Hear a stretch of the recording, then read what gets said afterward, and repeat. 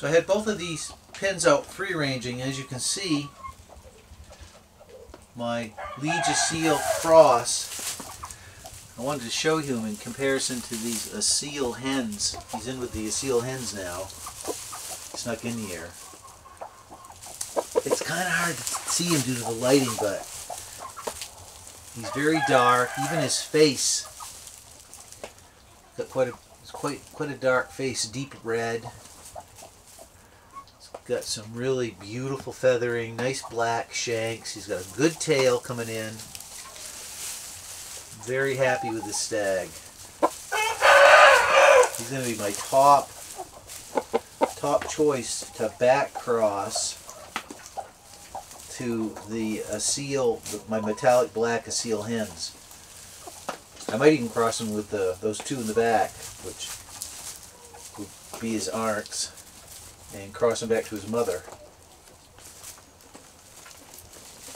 which will give me uh, three quarter Asil, one quarter liege crosses. I'm really interested to see what they'll look like. And he was born the second week in July. Mid-July this bird was, was hatched out. And look at the size of him. Towers over these seal hens. And these are not, these are not, these are good sized birds. These are probably five pound, five, six pound hens in here, mostly. I don't think he, I haven't weighed him. I don't want to really freak him out. I didn't put my birds in a bag. I got to set up a different system, but he's not that heavy. He's he's lanky, you know. Got a lot of weight to put on. You're gonna be a beautiful boy, aren't you? Huh? You're gonna be a beautiful bird. Yeah. I got two hens in that milk crate that are broody. They keep wanting to hatch out infertile eggs in, in you know, January. It'll be January here couple days. Look at that. What an awesome bird. Oh my god. At what, at what, like six months, five and a half months old?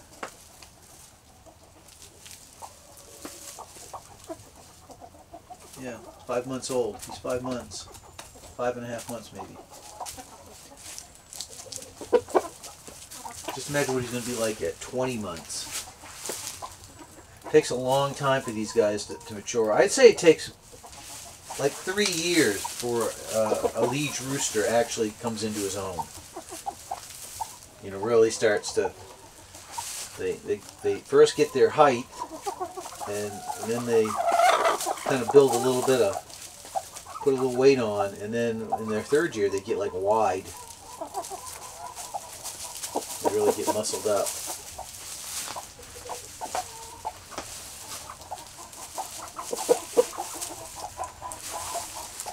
Got a little bit, quite a bit of that metallic shine. Not quite to the extent that his mother has, but he's got a little bit of it. Mostly black feathered.